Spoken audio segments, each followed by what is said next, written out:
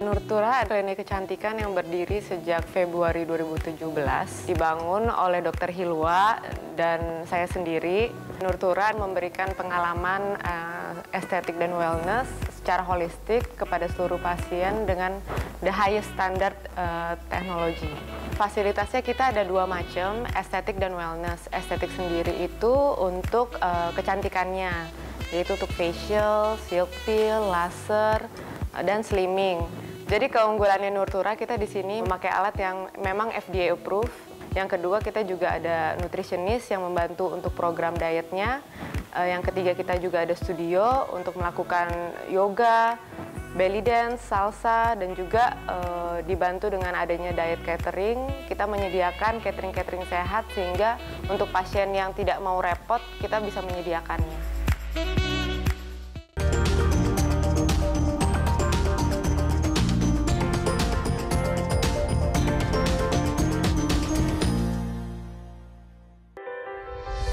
Suara pembaruan, memihak kebenaran.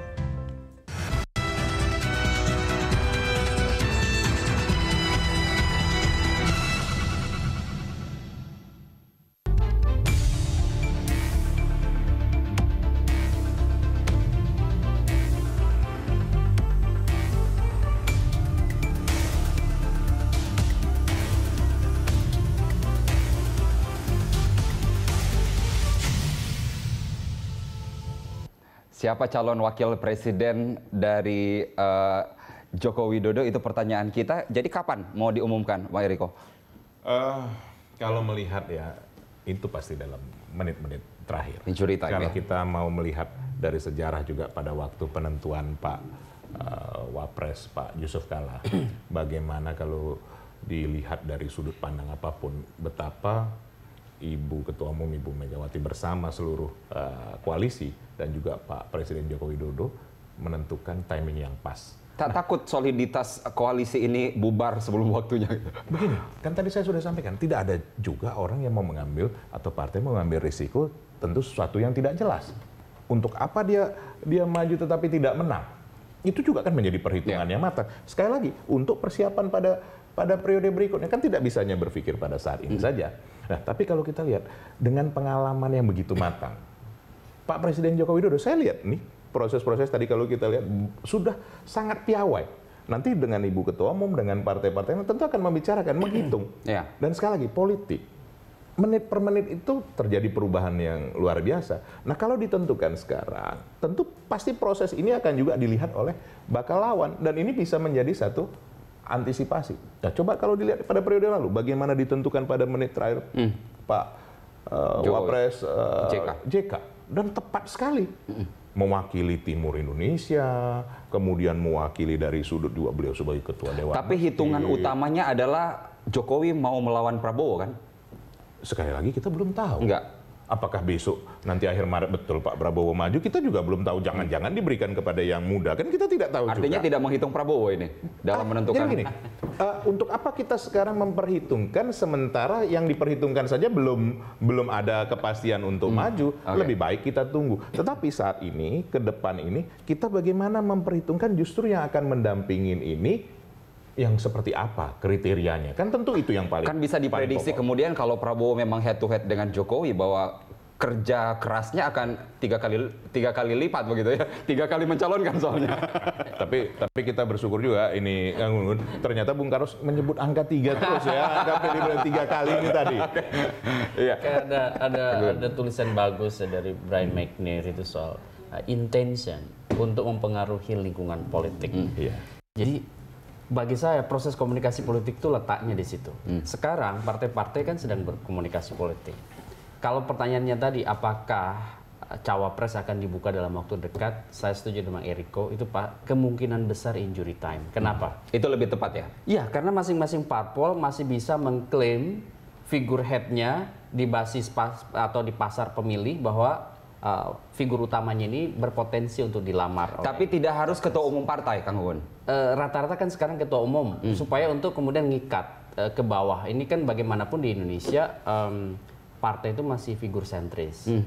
dan itu harus ditransformasikan semangatnya ke basis pemilih, terutama ketika basis pemilih melihat figur utamanya mau di jadiin cawapres. Tapi justru mengulur waktu ini bukankah kemudian eh, memberikan sebuah gambaran ya mungkin pola yang akan outputnya nanti keluar mungkin SBY Budiono di di di tahun uh, 2009 misalnya itu saya- walaupun mungkin bukan tokoh ekonomi itu mungkin militer Iya, misalnya. tadi saya udah bilang bahwa eh, sering kali berbeda antara cara pandang eh, publik dengan cara pandang elit. Karena elit itu sering kali eh, bicara soal banyak faktor, terutama soal strategi. Nah, kalau misalnya bicara strategi untuk konstelasi 2019 bukan calon presidennya yang injury time, tapi calon wakil Mhm. Calon wakil presidennya. presiden. Itu bermanfaat bagi ba- da- dalam konteks elit bagi dua. Uh, pertama bagi partai politik yang masing-masing punya jagoannya dan jagoannya itu diharapkan kemudian jadi pengikat. Yang kedua bagi capresnya sendiri untuk kemudian menimbang banyak hal supaya kemudian pada saat memang chemistry terbangun, kongsi Iya. bisa uh, dibentuk, chemistry itu kemudian bisa memfasilitasi prakondisi bagus pembentukan pasangan dan pasangan itu kemudian bisa uh, punya uh, uh, membentuk yang disebut soliditas di tim pemenangan. Iya. Nah ini nggak mudah, makanya saya bilang saya setuju dengan Bang Eriko soal ini pasti injury time. Injury time. Apalagi kalau nanti eh, yang diajukan Prabowo bukan dirinya sendiri, Anies Baswedan misalnya, Pak Eriko. Kita janganlah berasumsi begitu kan. Biarlah itu menjadi Andai-andai wilayah- saja misalnya. Biarlah itu menjadi Maka kuda-kudanya harus lebih kuat ini. ini gimana Pak Iya, Eriko? Artinya kan kami juga dalam hal ini kan karena komunikasi itu begitu intens ya, kan sudah sudah memahami. Hmm. Kalaupun yang maju seperti ini ataupun yang seperti ini kan kita juga sudah sudah mengantisipasi hal-hal seperti itu. Itu juga tadi kaitannya dengan memilih tentu pasangannya. Hmm. Nah, ada hal yang membuat ini menjadi lebih lebih katakan lebih bisa terorganisir dengan baik. Karena PDI Perjuangan sudah mencontohkan bahwa Ibu Ketua Umum tidak maju Ya. dengan memberikan Pak Joko Widodo sebagai Seharusnya Prabowo terbaik. jangan maju lagi gitu. Maksudnya itu. artinya, ah itu silakan saja lah dia diartikan seperti tapi artinya bagi partai-partai lain pun melihat hal ini kan ini menjadi satu contoh bahwa kepentingan bukan karena kepentingan partai Hmm. bagaimana keberlanjutan pembangunan ini bagaimana apa artinya kan satu periode yang yang betul-betul utuh Ya. itu yang diharapkan sebenarnya oleh siapa pun Baik. baik investor baik siapa pun warga negara kita soal berbeda pandangan wajar ya Kang Ya. Gunggun Ya. tidak semua juga tentu harus memilih pada satu itu. Nah, kalau melihat kecenderungannya seperti ini memang kita melihat bahwa kemungkinan memang hanya tinggal dua dua pasang. Apakah Iya. itu nanti dengan Pak Prabowo ataukah siapa yang ditunjuk? Artinya kita Pak berbicara Prabowo, soal calon wakil presiden eh, mendukung iklim investasi, NKRI harga mati begitu ya. Artinya eh, nama itu mungkin ya yang yang Iya. lebih tepat. Itu bagian paling substansial menurut saya dari diskusi kita. Iya.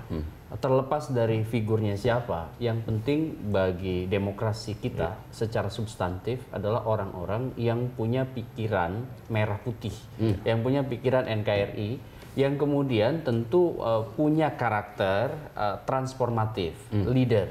Jadi pemimpin yang bisa menggerakkan dan itu Pak Jokowi kan sudah mulai nih Baik. periode pertama. Di periode kedua harus ada orang yang kemudian turut membantu mengondisikan Indonesia jauh lebih baik di atas kepentingan-kepentingan sektoral. Baik, itu eh, mungkin penyebabnya sekarang Jokowi di di pusaran jenderal-jenderal besar ya gitu di, di di di istana mungkin ya. Kita bisa membaca itu. Kita terima kasih ke Kang Gunggun dan juga Bang Eriko sudah hadir Sama-sama, bersama Bung Carlos. kita di Gunggun. Prime Time Talk edisi hari ini. Dan pemirsa demikian Prime Time Talk kali ini Anda bisa mengirimkan informasi dan saran kepada kami lewat email di redaksi at berita1.tv. Follow kami via Twitter, Facebook, YouTube, dan Instagram berita satu news channel saat ini bisa Anda tonton di channel 103 MNC Vision dan MNC Play. Atas nama kerabat kerja yang bertugas, saya Carlos Michael undur diri. Terima kasih. Sampai jumpa.